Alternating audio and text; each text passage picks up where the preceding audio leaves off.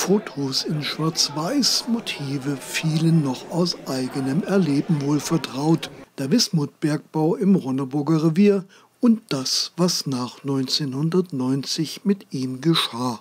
Das Museum Burg Pasterstein zeigt in seiner ersten Sonderausstellung des Jahres Aufnahmen eines Fotografen, der bis 1998 nichts von all dem gewusst hat. Karl-Heinz Rothenberger aus Landshut. Fotografie ist für Karl-Heinz Rothenberger nie Broterwerb gewesen. Beruflich hat er sich schon früh anders entschieden. Sie stammen aus Landshut, studierten Medizin in München und Zürich und äh, waren also in der Inneren Medizin und der Chirurgie und zum Schluss in der Urologie, wenn ich das richtig gelesen habe.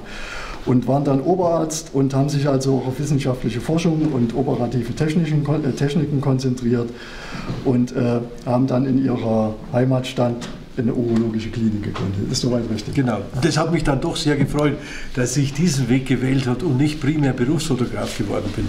Nichts gegen Berufsfotografen, aber so Medizin und Urologie ist schon sehr spannend.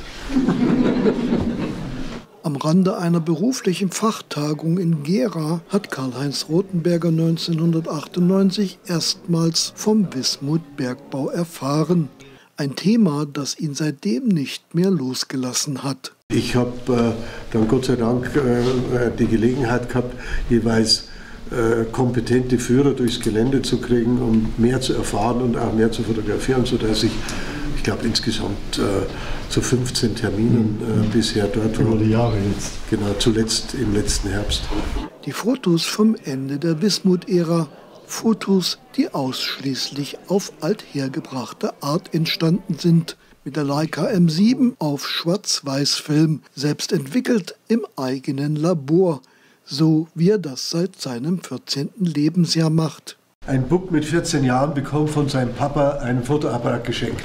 So war es bei mir auch. Ja. Das fand ich ganz lustig und ganz schön. Und dann kam die Schule und da gab es dann einen Fotokurs.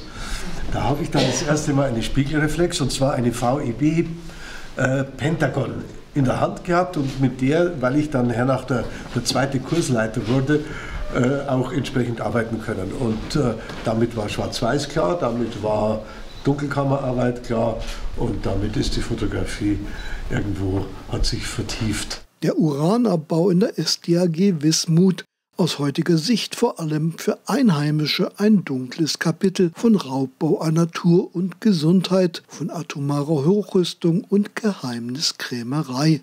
Karl-Heinz Rothenberger, der Auswärtige, hat da eine gelassenere Sicht auf die Dinge. Es ist ja ein faustisches Unternehmen, was da gemacht worden ist. Und äh, alle faustischen Unternehmen haben zwei Seiten. Was Positives, was hier geschaffen wurde, was vielleicht auch, Sie haben es ja gesagt, die soziale Vergünstigungen für die Mitarbeiter dort waren. Und die andere Seite, äh, Probleme mit der Gesundheit, hernach Probleme, um äh, das Ganze wieder aufzuräumen. Äh, aber so ist es halt, wenn der Mensch irgendwo eingreift und äh, es wird ja jetzt immer so viel geredet von der Natur äh, und wird immer vergessen, dass der Mensch eigentlich Teil der Natur ist. Und wenn wir von Natur sprechen, dann dürfen wir die Menschen nicht vergessen und da muss man wohl auch zugeben, dass es nicht so sein kann, die Natur, als ob es keine Menschen gäbe. Sonst müsste man den Menschen abschaffen und das wollen wir ja nicht. Landschaft nach der Wismut, die aktuelle Sonderausstellung im Museum auf Burg Pasterstein. Noch zu erleben bis zum 10. Mai, täglich außer montags.